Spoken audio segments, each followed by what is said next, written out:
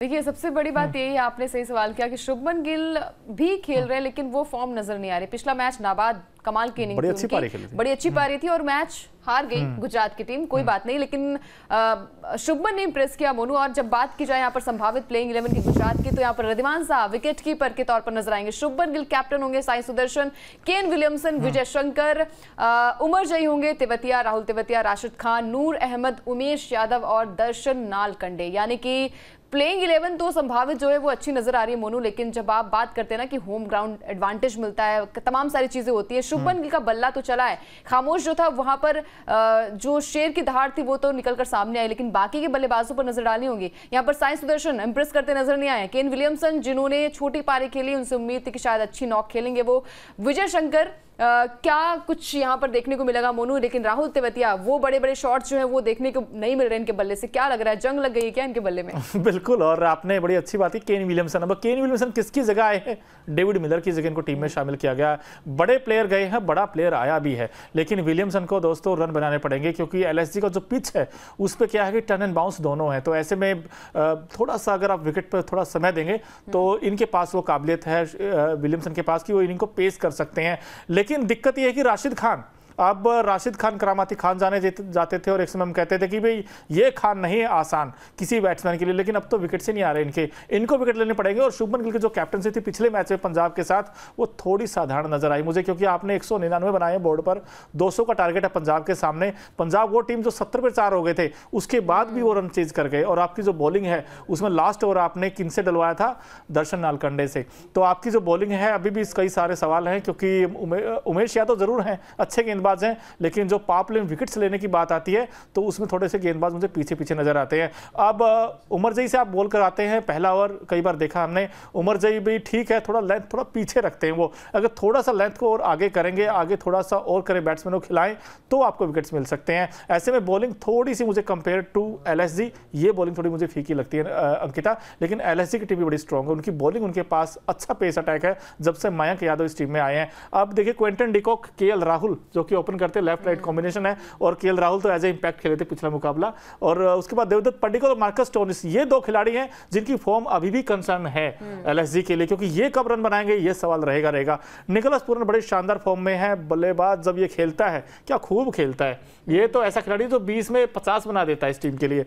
उसके बाद आयुष बदौनी हो सकता है इनकी जगह दीपक हुडा भी टीम में आ जाए क्योंकि इनका फॉर्म भी ठीक ठाक ही रहा। वैसे कुणाल पंड्या रवि बिश्नोई यश ठाकुर नवीनुल हक और मयंक यादव। अब जो ये मयंक यादव का तूफानी गेंदबाज है अंकिता पिछले दोनों मैचों में हमने देखा था कि भाई तीन तीन विकेट्स लिए हैं और दो मैचों में ही छह विकेट ले गया गेंदबाज।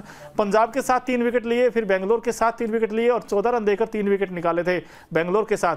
अब कई जो चीफ सेलेक्टर्स हैं इंडिया के उनका तो ध्यान खींचा ही है। जो क्रिकेट फैंस हैं उनको भी सोचने मजबूर कर दिया कि मयंक यादव क्या टीम इंडिया के टी ट्वेंटी वर्ल्ड कप में खेल सकते हैं आपको लगता है ऐसा? देखिए यही कंसिस्टेंसी रही मोनू और हर बार ये इंप्रेस करते नज़र आए क्योंकि तेज गेंदबाजी पर अगर हम नज़र डालें तो थोड़े से पेसर्स की कमी है हमारे भारतीय खेमे में। तो मयंक यादव एक अच्छा रोल प्ले कर सकते हैं लेकिन वही है ना कि इनको लगातार अपनी फॉर्म को और बरकरार रखनी होगी। और ये मैच में कल देखने को मिलेगा जो रंग वहाँ पर नज़र आएँगे मोनू क्या लग रहा है आपको कि यहाँ पर मयंक यादव जो है वो एक्स फैक्टर के तौर पर नज़र आएँगे या फिर यहाँ पर जीत होगी एक बार फिर से जीटी की जीटी जो है वो अच्छी लय में तो नज़र आ रही थी। पिछला मैच हमने देखा कि पंजाब के खिलाफ 199 रन बना दिए थे लेकिन गेंदबाजों ने इतनी पिटाई उनकी हुई ना कि शायद वो बैकफुट पर नज़र आई थी। इसके अलावा एलएसजी की जो वीकनेस है वो के राहुल का फॉर्म के राहुल का फॉर्म में ना होना थोड़ी सी टीम चलिए यहाँ पर क्विंटन डिकॉग अच्छी नौ खेल लेते हैं। इसके अलावा मार्कस टॉइनिस जो थे वो अच्छी बल्लेबाजी पिछले मैच में करते नज़र नज़र आए थे। निकोलस पूरन जिनका बल्ला जो है वो हर मैच में जो है वो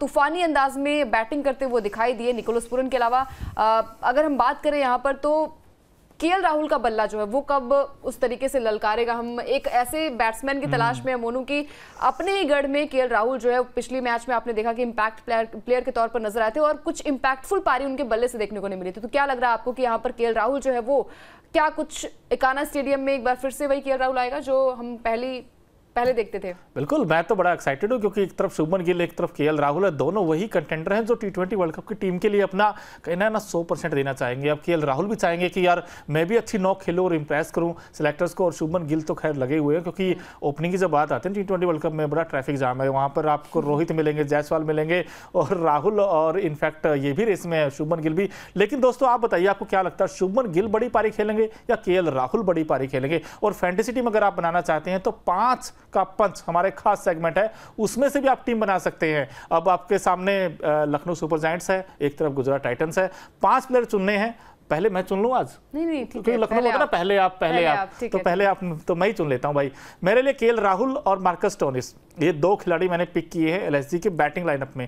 अब बॉलिंग देखो मैं क्या तो मैं तो पक्का लूँगा क्योंकि जीत की हैट्रिक एलएसजी लगाएगी लेकिन ये भी हैट्रिक लगा सकते हैं। दो मैचों में बड़ा इंप्रेस किया मैंने तो मैच है तो तीसरे भी बन सकते हैं। तीन मैंने वहाँ से ले ली और दो अगर उस तरफ़ से लूँ तो मैं गुजरात टाइटन से शुभमन गिल को ही सुनूँगा दोबारा। और फिर एक खिलाड़ी देखो उमेश यादव पे ही दाव खेलता हूँ मैं। बिल्कुल। तो मेरे हिसाब से यहाँ पर मैं शुभमन गिल को गुजरात की तरफ़ से और आपने बात की यहाँ पर उमेश हम्म। यादव की तो मैं मोहित के साथ जाऊँगी। हाँ मैं मोहित के साथ अच्छा जाऊँगी अच्छी हम्म। गेंदबाजी करते नज़र आए अभी तक। और अगर अगर लखनऊ की बात की जाए तो यहाँ पर निकोलस पूरन जो कि हर बार इम्प्रेस करते हैं तीसरे मैं तीसरा प्लेयर ये लूँगी। और चौथे प्लेयर की बात की जाए तो मेरे हिसाब से मयंक यादव आई थिंक कोई नहीं छोड़ना चाहेगा उन्हें क्योंकि एक अच्छी लाइन में नज़र नज़र आ रहे हैं। इसके अलावा मार्कस टॉइनिस हमने देखा है कि जब मिडिल ऑर्डर कमज़ोर नज़र आया था लखनऊ का वहाँ पर मार्कस टॉइनिस का तूफ़ान आया था और अच्छी बल्लेबाजी करते हुए यार गेंदबाजी भी कर लेते तो मेरे हिसाब से ऑलराउंडर को भी लेना चाहिए अपनी टीम में। तो मेरे हिसाब से पाँच के पंच में ये पाँच नाम है आपके हिसाब से क्या लगता है आप भी कमेंट करके बताइए। इसके अलावा क्या यहाँ पर एक बार फिर से केएल राहुल का बल्ला बोलेगा? खामोश नज़र आया। यार इंप्रेस बल्लेबाज बल्लेबाज कमाल का है मोनू हम्म। लेकिन वो बल्लेबाजी उनके बैट से देखने को नहीं मिल रही। तो क्या लग रहा है आपको कि इस बार वो इंप्रेस करते नज़र आएँगे? बिल्कुल आएँगे क्योंकि जब घर पर मैच हो और के राहुल को वैसे पेस पसंद है जितना आप पेस करेगा जनरेट करेगा गेंदबाज। उतने बड़े अच्छे अच्छे शॉट्स मारते हैं और बड़े दूर जाते हैं। इनके शॉट्स तो मज़ा आ गया क्योंकि एल वैसे चाहेगा क्योंकि एल एस का टॉप फोर में जाना तो वो भी चाहेगा जीते लेकिन सामने गुजरात टाइटन्स है। गुजरात टाइटन्स की मैं फिर से कह रहा हूँ कि जो उनके स्पिन डिपार्टमेंट है वो उनके लिए सबसे बड़ा कंसर्न है। अगर एल का देखोगे तो मार्कस टोनी और देवदत्त पडिकल का फॉर्म हम्म। ये दोनों चीज़ें दोनों के लिए कहीं ना कहीं वीक जोन है। लेकिन जब हम बात करते हैं भाई एक्स फैक्टर कौन साबित हो सकता है? मुझे तो पता नहीं क्यों ये चौबीस कैरेट गोल्ड सोना मयंक यादव है। यार मयंक यादव इस मैच में फिर से मुझे लगता है कि सबसे बड़े मैच विनर होंगे के साथ जाऊँगी मयंक हम्म। यादव क्योंकि हर बार इंप्रेस कर रहे यार। मतलब 21 साल का युवा हम्म। बल्लेबाज है और क्या कमाल की माफ़ कीजिएगा गेंदबाज है क्या कमाल की गेंदबाजी हम्म। करते हैं।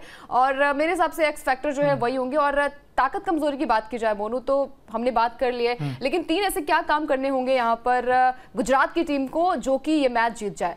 एक तो सबसे बड़ी बात यह है कि शुभमन गिल को रन बनाने पड़ेंगे क्योंकि जब गिल रन बनाते हैं तब टीम अच्छा करती है। और नंबर टू चीज़ ये कि रिधिमान शाह को भी ना थोड़ा सा गिल का साथ देना होगा क्योंकि वो खेलते अच्छा है। मैच में अच्छा रन बनाया था नाबाद थे वो लेकिन फिर भी टीम हार फिर भी टीम हार गई लेकिन हिसाब से मिडिल ऑर्डर थोड़ा सा कमज़ोर है इनका। और और एक चीज़ और राहुल तेवतिया ने स्ट्राइक ही नहीं दी। अगर गिल को स्ट्राइक दे देते तो हंड्रेड बना देते वैसे। लेकिन वो स्ट्राइक मिल ही रही थी भाई को। अगर मिल जाती गेंदबाजी भी कहीं ना कहीं और गेंदबाजी राशिद खान को विकेट लेने पड़ेगा दर्शन नालकंडे एक और इनका वीक लिंक है उनको भी इंप्रेस करना पड़ेगा बॉलिंग में। और दूसरी चीज़ ये है कि जो फिनिशर तो अच्छा कर देते हैं, लेकिन विलियमसन इस खिलाड़ी को रन बनाने पड़ेंगे क्योंकि ये प्लेयर बड़ा अच्छा है बड़े मंच का प्लेयर है। लेकिन इनको अच्छा करना पड़ेगा एल को हराने के लिए। ये दो तीन काम है जो और फील्डिंग सबसे इंपॉर्टेंट रोल प्ले करती है। फील्डिंग में भी आपको बिल्कुल एक्टिव रहना पड़ेगा। आप विराट से सीख सकते हैं वैसे। विराट का थ्रो बड़ा अच्छा आता है। फील्डिंग बड़ी अच्छी करते हैं।